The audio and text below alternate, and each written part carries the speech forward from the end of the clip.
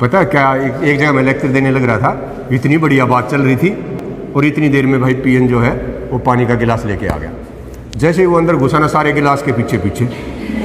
मैं खड़ा वहाँ चुपचाप और सारे उस गिलास के पीछे वो मेरे पास आया मैंने कहा भाई नहीं चाहिए। फिर वो गिलास को दूसरे पास ले गया। मैं यहाँ सोचा खड़ा खड़ा सोच रहा है भगवान इस गिलास को कोई पकड़ ले क्योंकि सारे के सारे उस गिलास के पीछे चल रहे ऐसे ही होता है अक्सर। हमारा ध्यान वहीं लगता है जहाँ नहीं लगना चाहिए। ये आम बात है। शरारती बच्चे थे, बड़ी ऐसा स्कूल था, कॉलेज से निकले। एयर कंडीशन स्कूल था, शरारत सूझी खोल के उसका ताड़ा तोड़ के और तीन बकरी अंदर घुसा दी। पहली बकरी के गले में फट्टा टांग दिया और उस पर लिख दिया, बकरी नंबर एक। दूसरी के ऊपर एक और गत्ता लिया, उस पर लिख दिया, बकरी नंबर दो।